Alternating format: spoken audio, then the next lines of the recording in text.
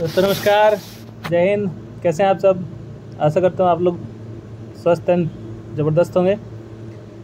दोस्तों, अभी एक नया अपडेट आप सभी के बीच। ट्रस्ट वॉलेट में काफ़ी हलचल चल रही है और इसमें कुछ नया अपडेट आया है। अपडेट ऐसा है कि आपका जो ब्राउज़र था, वो ब्राउज़र अभी हट चुका है। ब्राउज़र जो कोने में था, वो ब्राउज़र हट चुका है। तो अगर आप सोच रहे हैं कि ब्राउज़र में जाके कुछ करेंगे तो कैसे होगा? तो अब आपको ब्राउज़र में जाने की ज़रूरत नहीं है। अभी जो भी काम था ब्राउज़र का, वो सब आपके काम डिस्कवर सेक्शन में होंगे।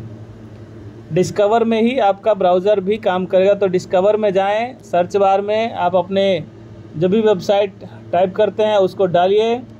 एवरग्रीन वर्ल्ड डॉट आई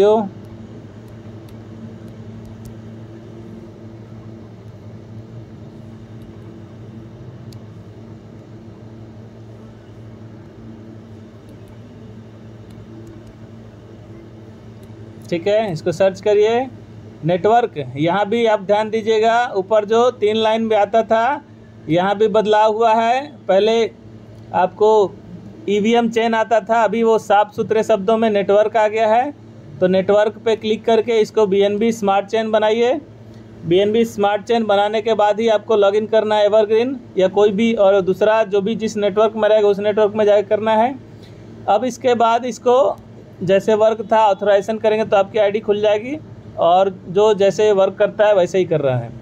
पहले हम ऊपर तीन डॉट पर क्लिक करते थे तो आपको एक फेवरेट का ऑप्शन आता था यहाँ पे और फेवरेट वहाँ से ऊपर से हट करके आपको ये नीचे आ गया है। आप देखिए यहाँ पे जो दिल का निशान बना है, वहाँ पे चला गया है। तो आपका फेवरेट आ चुका है यहाँ पे नीचे। ये वाला फेवरेट आपका यहाँ पे हो गया है। तो फेवरेट करने के लिए दिल के निशान पर टच कर दीजिएगा तो वो आपके फेवरेट में चला जाएगा। ठीक है?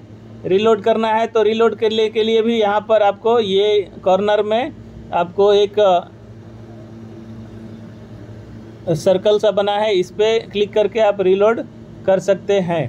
ठीक है? तो इस तरह से आप अपने नए ट्रस्ट वॉलेट के लेटेस्ट वर्जन का यूज़ कर सकते हैं। तो जब भी यूज़ करें, ध्यान रखें कि इस तरह से अपने को इंटरफेस मिला है तो इसका आप यूज़ करें। तो आशा करता हूँ आप लोगों के कन्फ्यूज़न दूर हो गए होंगे। जितने भी लोग हैं, आप सभी अपना नेटवर्क बीएनबी बना करके इसको करेंगे।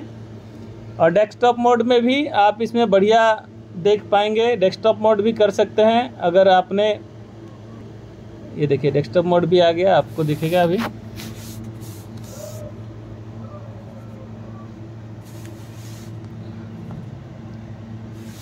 डेस्कटॉप मोड में पूरा एकदम लंबा चौड़ा आपको पूरे वेबसाइट के दर्शन होंगे। जैसे कंप्यूटर में होता था, उस तरह से आपको ये पूरा वर्जन दिखेगा। तो छोटा सा बदलाव, आप लोगों को कन्फ्यूज़न ना हो, इसलिए मैंने ये पूरा डिटेल डाला। जो भी कन्फ्यूज़न है, वो दूर हो रहेगी। थैंक यू वेरी मच मिलते हैं नेक्स्ट वीडियो में।